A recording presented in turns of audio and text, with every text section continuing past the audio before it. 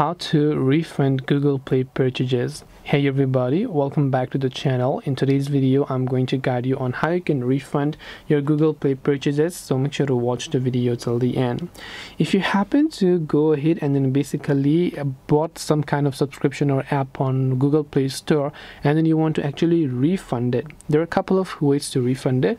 First of all, open Play Store and tap the profile icon from the top right. Then go to this option called Payment and Subscriptions. Once you go to Payment and Subscription, go to this option called Budget and History. And when you go to Budget and History, just find the order that you want to select a refund for. So here in this case, you can select it. You can tap on the View option here, and then you'll actually find the option to refund it if you have any sort of things over here.